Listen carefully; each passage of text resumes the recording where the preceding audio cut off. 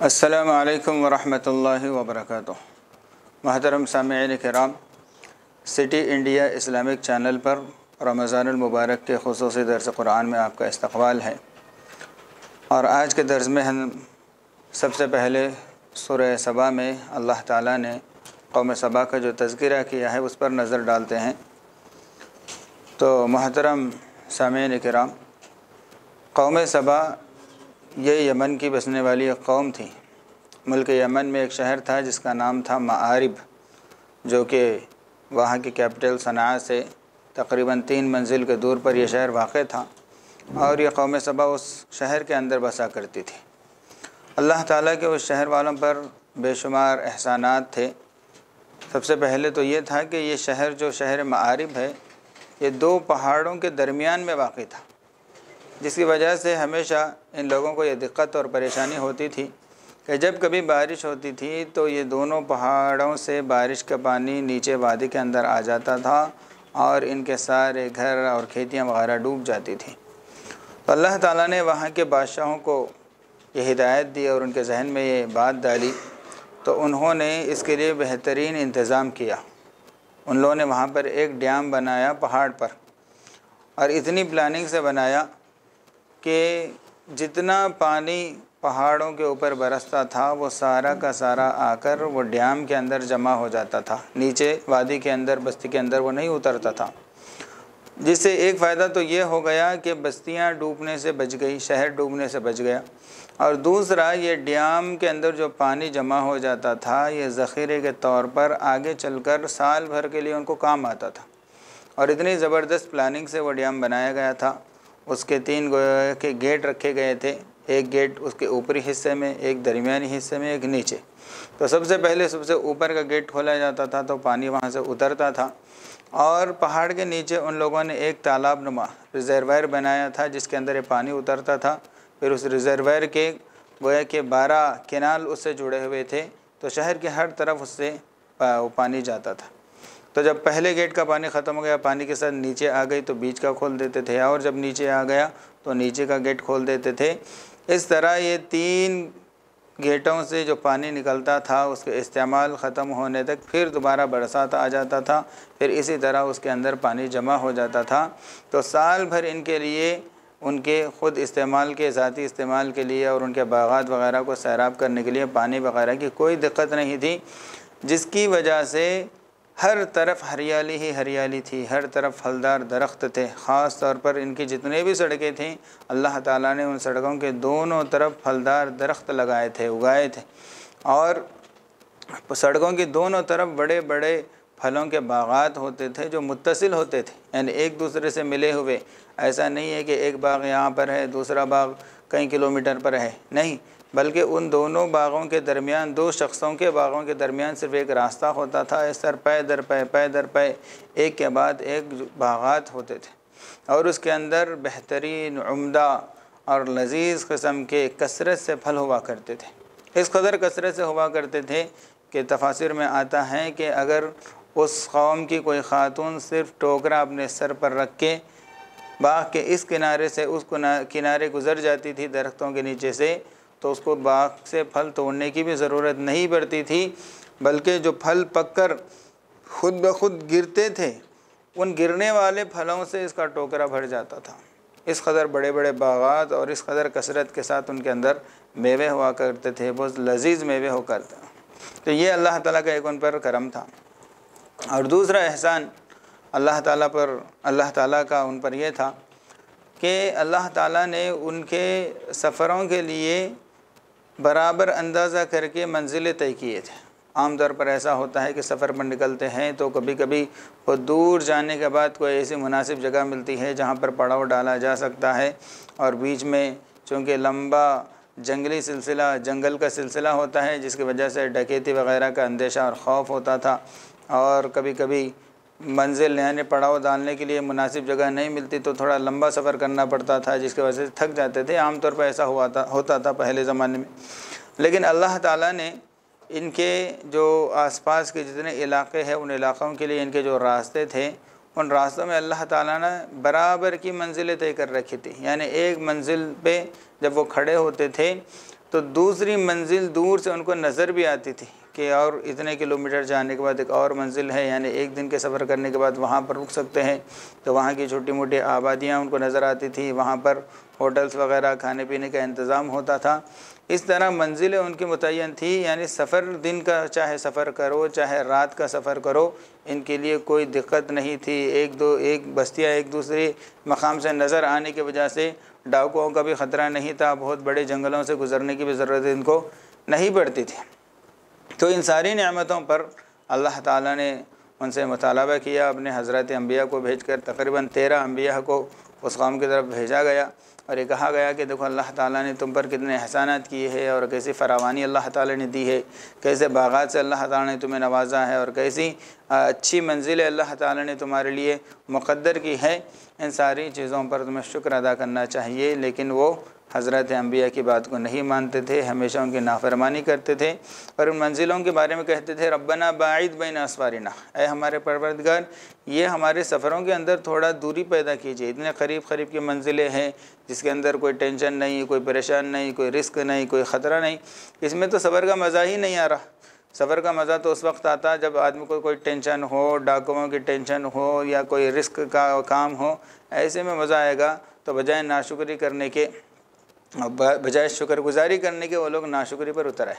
जैसा कि आज से चंद साल पहले अरब के खातून के बारे में ये न्यूज़ चल रही थी, वायरल हो रही थी कि उसने अपने शोहर से खुला लेने का मुतालबा लेकर कोर्ट पहुँच गई। जब जज ने पूछा कि भाई क्या वजह है तू शोहर से क्यों खुला लेना चाहती है? तो उस खातून ने कहा कि ये आदमी ऐसा है कि कभी मेरी नाफरमानी नहीं करता। मेरी कोई, मेरे किसी मुतालबे को पूरा किए बगैर नहीं रहता। मैं जो कुछ कहूँ मान लेता है, मेरी हर ख्वाहिश पूरी करता है, कभी मेरे ख़िलाफ़ नहीं जाता। जिसकी वजह से इसके साथ ज़िंदगी गोया के बोर हो गई। कोई मज़ा ही नहीं आ रहा, कोई टेंशन नहीं, लड़ाई नहीं, झगड़ा नहीं। तो ऐसे जीने में क्या मज़ा आता है? उसलिए मैं इससे खुला लेना चाहती हूँ। तो बयानी ऐसे ही कौम सभा का कौल था कि ऐसे सफ़र जिसके अंदर कोई ख़तरा नहीं, टेंशन नहीं, इसमें तो सफ़र का मज़ा ही नहीं आ रहा, इसलिए हमारी मंजिलों को अल्लाह आप दूर कर दीजिए। तो इनकी नाशुक्री की वजह से अल्लाह ताला ने उन पर अजाब मुसलत किया। अजाब ये मुसलत किया कि उनका जो ड्याम बना हुआ था, जिसकी वजह से उन पर ये सारी नियामतें बरस रही थी, अल्लाह ताला ने उस ड्याम पे ऊपर ऐसी आफत नाजिल की कि वो ड्याम टूट गया और ये सारे के सारे इनके घर और इनके बागात सब के सब जो है ना बह कर चले गए। तो उसके लिए अल्लाह ताला ने इसबाब के दर्जे में सबसे पहले इस डैम के जो बुनियादें थी, उस बुनियादों में अल्लाह ताला ने अंधे चूहों को मुसलत कर दिया। जब चूहों की कसरत होने लगी, आहिस्ता आहिस्ता बढ़ने लगी तो उन लोगों ने सोचा कि भाई इन चूहों से दिफा के लिए, बचने के लिए बिल, बिल्लियों को यहाँ पर रखना पड़ेगा। इसलिए कसीर तादाद में वहाँ पर उन लोगों ने बिल्लियों को पाला ताकि इन चूहों का ख़ात्मा कर दे और चूहे डैम के करीब ना आए। लेकिन जब अल्लाह ताला का फ़ैसला होता है तो कौन रोक सकते हैं? तो हुआ ये कि चूहों की कसरत इतनी हो गई, इतनी हो गई, इतनी हो गई कि बिल्लियों पर वो गालिब आ गए और बिल्लियाँ वहाँ से राह फरार इख्तियार कर ली। और ये चूहे उस बुनियाद के अंदर, चूँकि अंधे थे बेतरतीब जैसा मन चाहा था, वो उसके अंदर खुदाई करते थे। इस तरह उन्होंने उन सारी बुनियादों को गोया के खोखला कर दिया। फिर उसके जब बारिश के अयाम आए, बारिश का मौसम आया, खूब बारिशें हुई और डैम के अंदर वो बहुत ज़्यादा पानी जमा हुआ तो ज़ाहिर सी बात है, अब डैम के बुनियादों के अंदर वो सगत नहीं रही कि इतने ज़्यादा पानी को स्टॉक करके उसको जमा सके। लिहाजा वो सारा का सारा डैम एकदम से टूट गया, जिसकी वजह से सारा पानी शहर के अंदर उतर आया, उनके सारे घर बह गए, उनके सारे बाग उजड़ गए। इस तरह अल्लाह ताला ने उनको, उनकी नाशुक्री का मज़ा चकाया और उनके जो बागात थे, फिर उसके बाद अल्लाह ताला ने उन बागात को कुरान के अंदर फरमाते हैं कि दो अच्छे और उम्दा, लजीज़ फलों के बागात की जगह हमने वहाँ पर जंगली बागात को पैदा कर दिया। जिसके अंदर सारे बबूल के और कीकर के खारदार दरख्त उगने लगे और चंद दरख्त ऐसे थे जो फलदार समझे जाते थे तो वो भी ऐसे के नाकबिल इस्तेफ़ादा। अल्लाह ताला ने बेरी के दरख्त वहाँ पर तस्करा किया है। जंगली बेर, एक तो बागात के अंदर जो बेर लगाए जाते हैं, वो तो लजीज होते हैं, लेकिन ऐसे जंगली बेर जिसके दरख्त को कांटियाँ ही ज़्यादा है और बेरियाँ अगर है बराना हम थोड़े बहुत तो उसको खाने से भी वो जो है ना, इंतहाई कड़वे क़स्म के, जिनके अंदर कोई लज्जत नहीं। तो अल्लाह ताला ने इस पर उन पर, उनकी नाशुक्री की वजह से इस तरह अजाब नाजिल किया, फिर वो लोग वहाँ पर रह नहीं सके बस नहीं सके, क्योंकि वहाँ पर जीने की कोई शक्ल नहीं थी। हालाँकि पहले तो ऐसा था कि इतना साफ़ और शफाफ माहौल था कि वहाँ पर ना ही मच्छर थे, ना ही मक्खियाँ थी, ना ही सांप और बिच्छू थे। कोई उनको बीमारी भी नहीं आती थी, साफ़, शफाफ ताज़ी हवा उनको मैसर होती थी। बल्कि ये भी आता है तफासिर के अंदर कि अगर कोई आदमी वहाँ पर आ जाता बाहर के इलाके का, जिसके जिसम के अंदर कोई बीमारी होती या ख़ास तौर पर जुएँ होती तो यहाँ पर आने के बाद ख़ुद ब खुद वहाँ की आबो हलबा की सफ़ाई से वो जुएँ वहाँ पर मर जाती थी। तो दूसरा, जो कोई बीमार भी आता था तो गोया कि वहाँ सेहतमंद होता था। ऐसी अच्छी फ़िज़ा अल्लाह ताला ने दे रखी थी, लेकिन नाशुक्री की वजह से अल्लाह ताला ने उस सारे नक्शों को बिगाड़ दिया। और उनको हलाक कर दिया, जिसकी वजह से वो वहाँ पर रह रह नहीं सके। तो अल्लाह ताला फरमाते हैं मज़क़ ना हम कुल्ल मज़क़ या कौम या कौम नहीं रही, बल्कि मुंतशिर होकर इधर इधर पहले गई, पहल गई।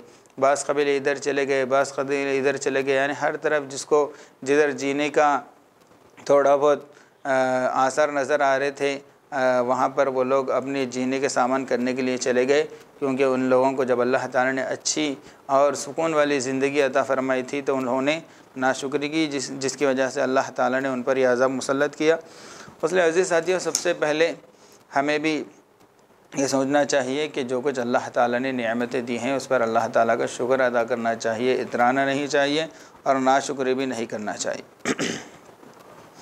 फिर इसी सूरत के आखिर में अल्लाह ताला नबी करीम सल्लल्लाहु अलैहि वसल्लम के ज़रिए से कुफ़ार मक्का को दावत फ़िक्र दे रहे हैं।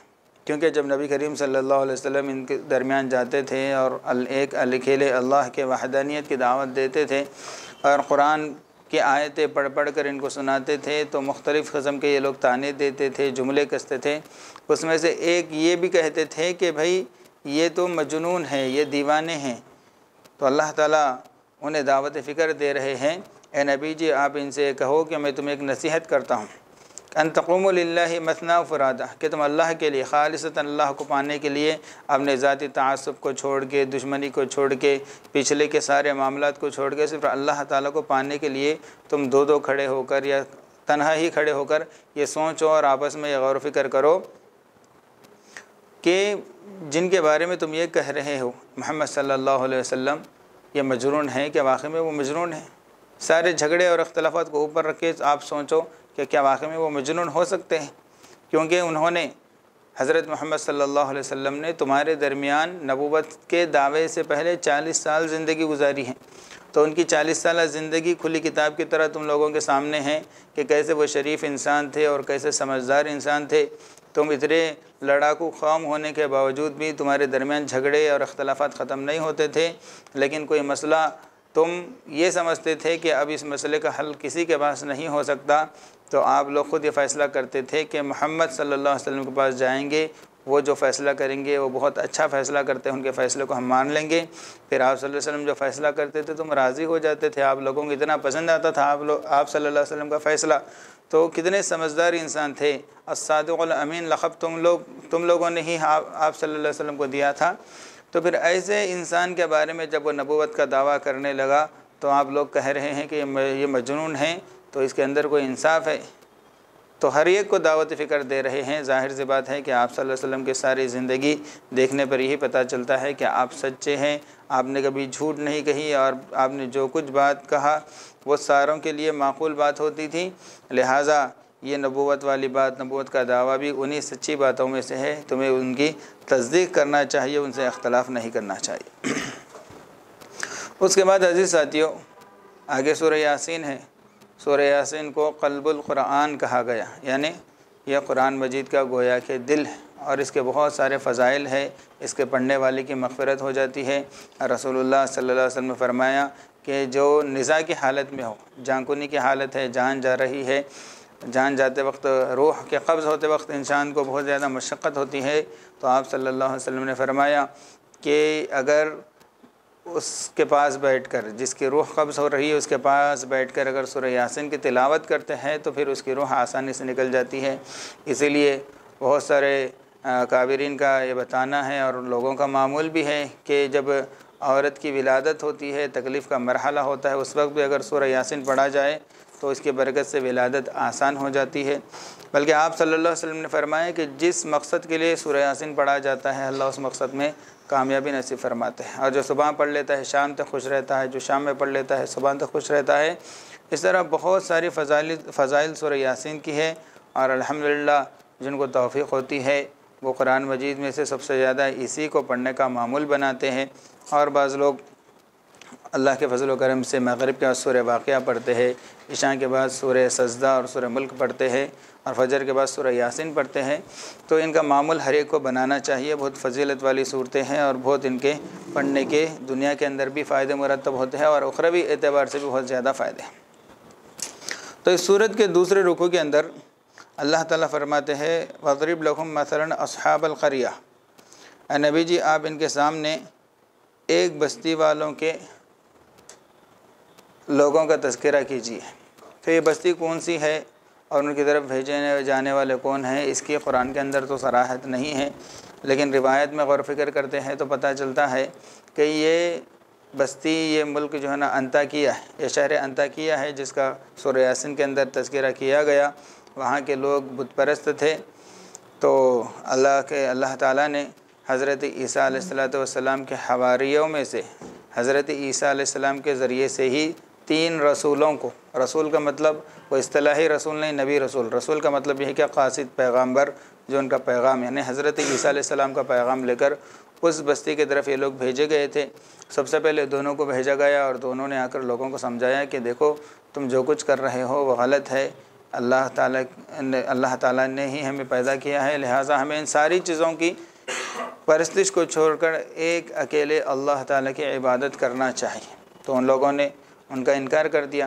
तो अल्लाह ताला ने मज़ीद पुख्तगी के लिए एक और को भेजा गया। हज़रत ईसा वसल्लम की जानब से तीसरे रसूल को भेजा गया और तीनों ने आकर कहा कि हम सब के सब अल्लाह ताला की तरफ़ से गोया कि भेजे गए हैं, अल्लाह के नबी की तरफ़ से भेजे गए हैं तुम्हारी हिदायत के लिए। तुम अगर हमारी बात को मान लेते हैं तो फिर तुम्हारा फ़ायदा हो जाएगा, दुनिया आखिर तुम्हारी कामयाब हो जाएगी। लेकिन उन लोगों ने न सिर्फ़ ये कि उनकी दावत का इनकार किया बल्कि उल्टा ये कहने लगे, इन्ना तो तैयारना बिकुम। हम तो तुम्हें मनहूस समझते हैं। तुम्हारी वजह से ही हमारे दरमियान में अगर कोई आफतें आ रहे हैं तो हम समझते हैं कि वो तुम्हारी वजह से ये आफतें आ रहे हैं। कौन रसूलों ने कहा कि, भाई, कितनी हिमाकत की बात है। तुम्हें तो अच्छी बात की तलखीन की जा रही है, तुम्हारी खैर खाही की जा रही है, तुम्हें नसीहत की जा रही है और तुम कह रहे हैं कि हमें मनहूस समझते हैं। बहरहाल, तुम, तुम्हारी ये बदफाली ये तुम्ही को मुबारक हो। तो ऐसे में उन लोगों ने न सिर्फ़ इन रसूलों का इनकार किया और बल्कि इनको धमकी दी, अगर तुम्हें बाज नहीं आओगे तो हम तुम्हें पत्थर से मार मार कर कत्ल कर डालेंगे। तो जब ये लोग बस्ती के अंदर दाखिल हो रहे थे, बस्ती के किनारे, एक दरवाज़े के, बस्ती के कई दरवाज़े होते थे दाखिल होने के तो बस्ती के एक दरवाज़े के किनारे एक शख्स बसा करते थे जिनका नाम था हबीब। और वो पेशे के अतबार से बड़ाई थे, जिसको अरबी में नज्जार कहा जाता है। तो हबीब नज्जार के नाम से इनको याद किया जाता है। ये बहुत सख्त बीमार थे और एक महलिक बीमारी के अंदर ये सत्तर साल से मुबतला थे और अपने इन माबुदान बातिला से हमेशा दुआ करते थे। उन बेजान मूर्तियों से वो ये दुआ करते थे कि उनको सेहत मिल जाए, लेकिन सत्तर साल के अंदर उनको कोई सेहत नहीं। तो जिस वक्त ये तीन बुज़ुर्ग हस्तियाँ, ये तीन पैगाम्बर पैगाम्बर इस शहर के अंदर दाखिल हुए तो उसी दरवाजे से दाखिल हुए तो सबसे पहले हबीब नजार से मुलाकात हुई। तो उन्होंने हबीब नजार को दावत दी, कहा कि सारी चीज़ों को छोड़ो। तो उन्होंने कहा कि भाई, तुम्हारे हक होने की दलील क्या है? हक होने की दलील क्या है? तुम जो दावत लेके आए हैं, उसके ऊपर कोई मुजज़ा तो पेश करो, कोई करामत तो बताओ ताकि मुझे यकीन हो जाए। और मैं इस ख़तरनाक बीमारी में मुबतला हूँ, क्या तुम्हारे पास इसका इलाज है? क्या तुम्हारे मज़हब के अंदर इससे शिफा हो सकती है? तो उन्होंने कहा कि बीमारी और शिफा के मालिक अल्लाह है, लिहाजा तुम इनको छोड़कर अल्लाह से दुआ करोगे तो अल्लाह ताला तुम्हें शिफा देगा। तो उनको ताजुब हुआ कि वह सत्तर साल से मैं अपने मबूदों से मांग रहा हूँ, कोई फ़ायदा नहीं हुआ, कोई असर नहीं हुआ, इसका कोई नतीजा नहीं निकला। और तुम कह रहे हो कि एक ही दिन के अंदर इसका असर हो जाएगा और ये बीमारी ख़त्म हो जाएगी। बहर गैब उसने अल्लाह ताला से दुआ की और इन बुज़ुर्गों ने भी उस शख्स की दुआ की, कबूलियत के लिए दुआ की। अल्लाह ताला ने दुआ को कबूल कर लिया और इसको पूरी तरह से सेहतियाब कर दिया। कोड़ी की बीमारी का शिकार था। तो जब इसको शर सदर हो गया कि वाकई में ये जो पैगाम्बर लेकर आए हैं। ये दीन सच्चा दीन है। एक अकेले अल्लाह ताला की इबादत करना चाहिए। उसके लिए वो शहर से बाहर चले गया और पहाड़ के अंदर अल्लाह ताला की इबादत के अंदर मुनहमिक हो गए। फिर ये लोग आए बस्ती के अंदर और कई ज़माने तक ये लोग लोगों के दरमियान तबलीग करते रहे, लोगों को समझाते रहे, लेकिन लोग हट भी होते रहे। बिलाकर उन्होंने जब ये इरादा कर लिया कि इनको पत्थरों से मार मार कर इनको क़त्ल कर डालेंगे, जब हबीब नज्जार को इसकी इतला हुई कि मेरी कौम इन लोगों के साथ ज़्यादती कर रही है, इन लोगों की बात नहीं मान रही है तो वो फौरी शहर के बाहर से आया। वजह, रजुल, वजह मिन अक्सल मदीन थी रजुल अक्सल मदीना यानी शहर के एकदम किनारे से, चूँकि शहर के बाहर चले गया था इबादत के लिए तो दौड़ता हुआ आया और अपनी कौम को समझाने लगा कि आप इन रसूलों की बात मान लो, इसी के अंदर तुम्हारे लिए खैर है, भलाई है। ये लोग ऐसे हैं कि अपनी दावत के मुकाबले में तुझसे तुमसे कोई पैसा और उजरत नहीं मांगते, बल्कि खालिशन तुम्हारी खैर खाही और तुम्हारी भलाई के लिए ये ऐसे खुदा की तरफ़ दावत दे रहे हैं, जिसने मुझे भी पैदा किया, तुम्हें भी पैदा किया। हमारे लिए बिल्कुल भी मुनासिब नहीं है कि जिसने हमें पैदा किया, उसको छोड़कर किसी और कहीं हम इबादत करें, इस तरह वो नसीहत करने लगा।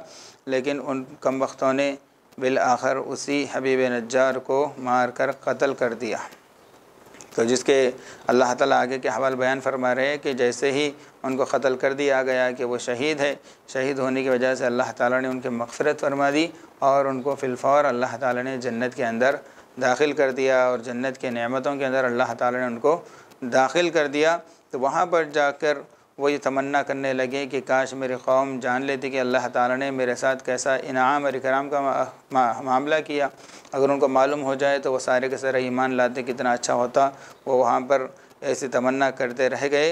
लेकिन अल्लाह ताला ने उनकी नाफरमानी की वजह से फ़रमाया कि इन तीन रसूलों के बाद हमने कोई और रसूल को उनकी तरफ़ नहीं भेजा, बल्कि उनके उसी हाल में छोड़ दिया ताकि क़यामत में इनको इनके किए का हम बदला देंगे।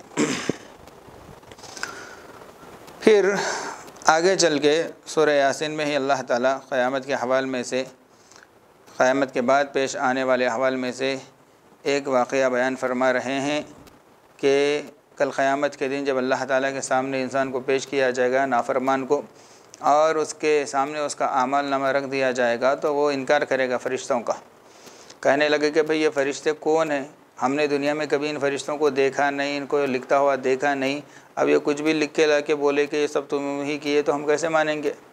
तो अपने गुनाहों का इनकार करेंगे, बाज़ नाफरमान। ये कहेंगे कि हमने ये नहीं किया, या फरिश्ते दुश्मनी से हमारे ख़िलाफ़ ये सब लिख कर लाए। ये ना हमारे पास थे, ना हमको देखे तो ये लोग कैसे लिख सकते हैं? तो उस वक्त अल्लाह ताला हजत ताम करने के लिए ये करेंगे कि उनकी ज़ुबान पर मोहर लगा देंगे। उनकी ज़ुबान बंद हो जाएगी, उनकी ज़ुबान के अंदर से बात करने की ताकत ख़त्म हो जाएगी। और अल्लाह ताला उनके जिसम के हर उज़्व को क़वत गोयाई अता फ़रमाएँगे। उनके हाथ बोल उठेंगे, उनके पैर बोल उठेंगे, उनकी जल्द और चमड़ा बोल उठेगा, उनके आँख और कान बोल उठेंगे। यानी सारे अज़ा उन गुनाहों की तस्दीक करेंगे, जिन गुनाहों के अंदर उन अज़ा को उसने इस्तेमाल किया था। हाथ से जो गुनाह किया, हाथ कहेगा कि हाँ मेरे ज़रिए से इसने यही गुनाह किया। पैर कहेगा कि मेरे ज़रिए से इन इन गुनाहों के अड्डों पर यह गया था। तो आदमी परेशान और हैरान हो जाएगा और इन आज़ा से पूछेगा कि भाई तुम मेरे होकर मेरे ख़िलाफ़ क्यों गवाही दे रहे दुनिया के अंदर जो कुछ मैंने गुनाह की है, वो तुम्हारी ही लज्जत और तुम्हारे लिए, तुम्हारे ही आराम के लिए मैंने किया था। और आज तुम मेरे साथ ये बेवफाई कर रहे हैं कि मेरे ख़िलाफ़ ही गवाही दे रहे अल्लाह के सामने। वो कहेंगे कि हम असल तेरे नहीं हैं, हम सब अल्लाह के हैं, अल्लाह ताला ने ही हमको बनाया था। और उसी अल्लाह ने जिसने तुझे दुनिया के अंदर क़वत गोयाई अता फ़रमाई थी, आज के दिन अल्लाह ताला ने हमें बोलने की ताकत दी है, लिहाजा हम हक़ बोलेंगे, हम गलत नहीं बोलेंगे, इस तरह उसके अज़ा हर इंसान के अज़ा उसके ख़िलाफ़ गवाही देंगे। इसलिए अज़ साथियों, हम तमाम को चाहिए कि हम अपने अमाल के ऊपर और फ़िक्र करें कि कैसे अमाल हमसे हो रहे हैं और जो कुछ नाफरमानियाँ हमसे हो रही है, उससे सच्ची पक्की तोबा करने की हमें सख्त ज़रूरत है। फिर उसके बाद सुर यासिन ही के आखिर में अल्लाह ताला अपनी कुदरत की एक बहुत बड़ी अलामत कुफ़ार के सामने बयान कर रहे हैं। अल्लाह फरमाते हैं कि यानी इंसान अपनी खिलकत को भूल गया और हमारे सामने वो मिसालें पेश करने लगा। मिसाल क्या पेश करने लगा? वो ये कहने लगा कि क्या हम जब मर जाएँगे और गल सड़ कर हम मिट्टी बन जाएँगे, राख बन जाएँगे, खाक बन जाएँगे तो फिर हम कैसा दोबारा ज़िंदा हो सकते हैं? तो अल्लाह ताला ये पूछ रहे हैं, क्या जिस अल्लाह ताला ने पहली मरतबा तुम्हें पैदा किया है, जबकि तुम्हारा वजूद नहीं था तो दूसरी मरतबा पैदा करना अल्लाह ताला के लिए क्या बड़ी बात है? अल्लाह ताला की कुदरत तो देखो, पानी के ज़रिए से तो आग बुझती है, आग लगती नहीं है, लेकिन अल्लाह ताला ने तुम्हारे लिए दो दरख्त ऐसे बनाए, क्योंकि अरब के अंदर पहले ज़माने में दो ऐसे दरख्त थे जिसको लोग छील लेते थे मिसवाक की तरह। और बिल्कुल हरी वो टहनियाँ रहती थी, जिसके अंदर रस होता था। तो उस रस भरी हरी टहनियों को जब ये एक दूसरे से रगड़ते थे तो उससे आग पैदा होती थी। इस तरह वो माचिस का काम गोया कि उन हरी टहनियों से लेते थे। तो ये अल्लाह ताला ही की कुदरत है कि उन हरी भरी हरी भरी पानी से लबरेज टहनियों के ज़रिए से भी अल्लाह ताला आग उगाने पर कादिर है तो फिर अल्लाह ताला के लिए कोई चीज़ नामुमकिन नहीं है। इसलिए अल्लाह ताला के कादिर मतलब होने पर ईमान लाना चाहिए। इसके अंदर ज़रा बराबर भी तरद नहीं होना चाहिए कि अगरचे हम मरने के बाद गल सड़ के मिट्टी हो जाएँगे, लेकिन अल्लाह ताला ज़रूर हमें अपनी अपनी ख़बरों से उठाएँगे और मैदान हशर के अंदर जमा करेंगे और हमारा हिसाब किताब लेंगे। फिर आगे चल के सूर साफ़ात के अंदर अल्लाह ताला ने हज़रत इब्राहीम अलैहिस्सलाम और उनके बेटे हज़रत इस्माईल का वो मशहूर वाक़ बयान फरमा रहे हैं, जो बकरीद के मौके पर हम बारहा सुनते ही रहते हैं कि हज़रत इब्राहीम ज़यीफ़ हो गए थे, लेकिन उनको कोई औलाद नहीं थी। वो दुआ करते रहे, अल्लाह ताला ने बुढ़ापे में उनकी दुआ को कबूल कर लिया और हज़रत इस्माईल अलैहिस्सलाम की शक्ल में उनको एक होनहार और प्यारा सा फर्मबरदार बेटा अल्लाह ताला उनको अता फ़रमाया था। तो उनकी परवरिश करते रहे। फिर जब वो जवानी और बुलूक की उम्र को पहुँचने लगे, तेरह चौदह साल के होने लगे और अपने बाप के गोया के सहारा बनने के करीब हो गए थे, ऐसे में अल्लाह ताला ने हज़रत इब्राहिम को हुक्म दिया कि अपने इस चहीते बेटे को मेरे नाम पर ज़ुबह कर दो, क़ुरबान कर दो। अल्लाह ताला क्योंकि आज़माना चाहते थे कि मैंने इब्राहिम को अपना खलील बनाया, ख़ास दोस्त बनाया है। अब मैं देखना चाहता हूँ कि मेरे खलील के दिल के अंदर मेरी मोहब्बत ज़्यादा है या अपने बेटी की मोहब्बत ज़्यादा है? तो उनको ख्वाब के अंदर अल्लाह ताला ने दिखाया कि वो इस्माइल, हज़रत इस्माइल को ज़ुबह कर रहे हैं। हज़रत अम्बिया का ख्वाब भी चूँकि वही के दर्जे में होता है तो हज़रत इब्राहिम समझ गए कि गोया कि अल्लाह ताला हुक्म है, सुबह उठे अपने बेटे इस्माइल से तस्करा करने लगे कि बेटा मैंने ऐसा ख्वाब देखा है। तो उन्होंने भी कहा कि जब आपने ख्वाब देखा है तो इसका मतलब यह है कि यही अल्लाह ताला का हुक्म है, लिहाजा अब्बा जान, आप बिला तरद मेरे गले पर छुरी चलाकर मुझे अल्लाह ताला के नाम पर ज़ुबह कर दीजिए, क्योंकि हम बने ही हैं अल्लाह ताला के लिए तो अल्लाह ताला के नाम पर ज़ुबह होना ये कोई नाकामी नहीं है, ये कोई गम की बात नहीं है, बल्कि ये तो खुशी की बात है। तो इतनी छोटी उम्र में भी हज़रत इसमाईसम ने इस तरह की हमत की बातें की, फिर हज़रत इब्राहिम उनको ले गए मीना के मैदान में और लिटाया और वो छुरी चलाना शुरू कर दी, अल्लाह ताला का नाम लेकर। तो वहाँ पर आजमाइश पूरी हो गई, छुरी तो वो चला रहे हैं, लेकिन अल्लाह ताला का हुक्म नहीं था छुरी को काटने का, इसलिए गला कट नहीं रहा था। इतने में अल्लाह ताला ने जन्नत का एक दुम्बा देकर हज़रत जब्राईल सलाम को भेज दिए। हज़रत जब्राईल सलाम छुरी के नीचे से हज़रत इस्माईल को हटा दिए और उस दुम्बे को रख दिए और हज़रत इब्राहिम सलाम के हाथ से वो ज़ुबाह दुम्बा हो गया। तो आपकी इसी अजीम क़ुरबानी को याद करते हुए अल्लाह ताला ने बकरीद के मौके पर साहब निसाब हज़रा के लिए क़ुरबानी को मशरू किया है। तो क़ुरबानी हमें तहजिल से देना चाहिए खुश दिली से देना चाहिए और क़ुरबानी का जो असल मकसद है, वो क्या याद दिलाना चाहते हैं? वो मकसद और सबक हमें सबसे पहले हासिल करना चाहिए कि जब बात अल्लाह ताला के नाम पर, नाम की आ गई, अल्लाह ताला की आ गई तो हमें अपने सब कुछ छोड़ने पर तैयार होना चाहिए। यहाँ पर इब्राहिम तो अपने बेटे को ज़ुबाह कर रहे हैं, लेकिन अगर कम अज़ कम कम अज़ कम हम अपने हराम जज्बात को ज़ुबाह ना करें और हराम कारियों को ना छोड़े तो अज़ीज़ साथियों कितने बड़े महरूम की बात है और कितनी बड़ी बेवफाई की बात है। फिर वहल अदा का नबलखसम हज़रत दाऊद आसमाम का अल्लाह ताला सूर स्वाद के अंदर एक वाक़ बयान कर रहे हैं। अल्लाह ताला ने हज़रत दाऊद सलाम और उनके बेटे हज़रत सलेमान सलाम पर बहुत सारे एहसानात किए, बहुत सारे खसूसियात से नवाजा बादशाह अल्लाह ताला उनको अता फ़रमाई। तो वहीं पर हुक्म भी दिया कि अमल आल दाऊद शुक्र आल दाऊद दाऊद के घराने वालों, तुम अल्लाह ताला का खसूस शुक्र अदा करो, आम लोगों से बढ़कर शुक्र अदा करो। तो अल्लाह का ये हुक्म पाकर हज़रत दाऊद सलाम ने एक निज़ाम बनाया। और निज़ाम ये बनाया कि उनके घर के अंदर 24 घंटे अल्लाह ताला की इबादत होती थी। यानी ऐसा एक के बाद एक बारी बारी ऐसा तय कर लिए थे कि हर वक्त घर का कोई ना कोई फ़र्द अल्लाह ताला की इबादत में लग के रहना। रात भर भी गोया कि शिफ्टिंग के अंदर तीन घंटे तुम बैठेंगे बाकी सब सो जाएँगे, फिर जिसकी बारी होगी उसको उठाया जाएगा, वो इबादत के अंदर लगेगा। इस तरह शिफ्टिंग के ज़रिए से 24 घंटे कोई ना कोई अल्लाह ताला की इबादत में वो लगे रहता था, जिस पर हज़रत दाऊद सलाम को बहुत ज़्यादा फ़ख्र हुआ। और अल्लाह ताला के सामने कहने लगे कि देखिए अल्लाह ताला हम किस कदर ज़बरदस्त तरीक़े से ये क्या है, इबादत अंजाम दे रहे हैं कि एक लम्हा भी आपके याद से हमारा घराना गाफिल नहीं। तो अल्लाह ताला ने, अल्लाह ताला को ये फ़खरिया जुमले अल्लाह ताला को थोड़े पसंद नहीं आए। जैसे कि मूसा सलाम के क़स्से में था कि पूछा गया कि सबसे ज़्यादा इल्म किसके ने? तो हज़रत मूसा ने कहा कि मेरे पास ही है। हालाँकि हकीकत थी, लेकिन वो मेरे पास कहना अल्लाह को पसंद नहीं आया। तो यहाँ पर भी ये जो इबादत पर फ़ख्र करना, क्योंकि इबादत की तोफ़ी देने वाले अल्लाह है। अल्लाह अगर तोफ़ी ना देते, ना ही किसी नबी को इबादत की तोफ़ी होती है, ना ही किसी वली को होती। तो अल्लाह ताला हज़रत दाऊद सलाम को मुतनबे करना चाहते थे तो एक मरतबा ऐसा हुआ कि दो फरिश्तों को अल्लाह ताला ने आसमान से भेजा और दोनों के दोनों इंसान के शक्ल में आए और एकदम, और उस वक्त हज़रत दाऊद सलाम की ही बारी चल रही थी। इबादत का ख़ास मकाम भी बनाया गया था। वहीं पर बैठ कर घर की मस्जिद में इबादत करते थे, वो इबादत में लगे हुए थे।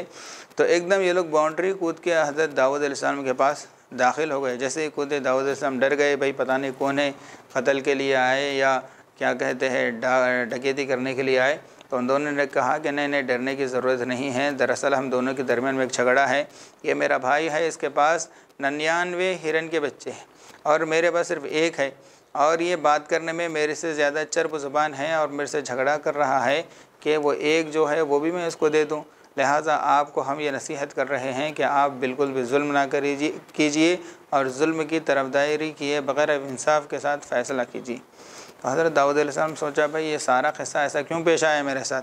एक तो मैं इबादत में बैठा हुआ था, ये लोग इतनी निगरानी के बावजूद मुझ तक पहुँच कैसा गए।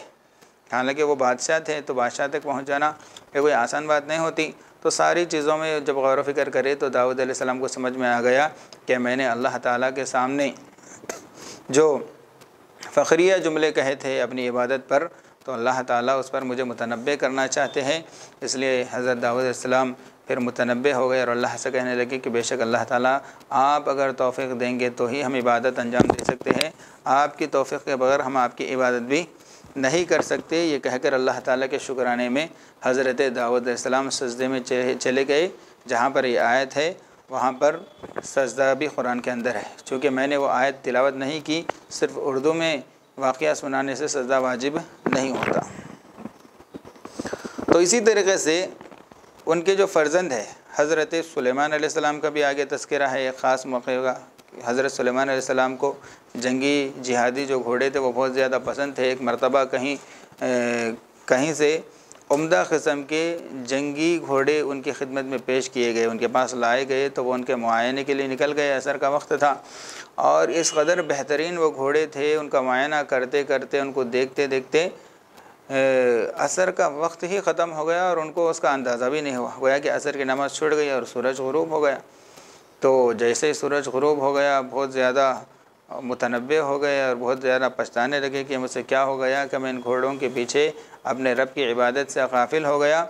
इसलिए उन्होंने फिर तोबा इस्तफ़ार किया और अल्लाह ताला से दुआ की।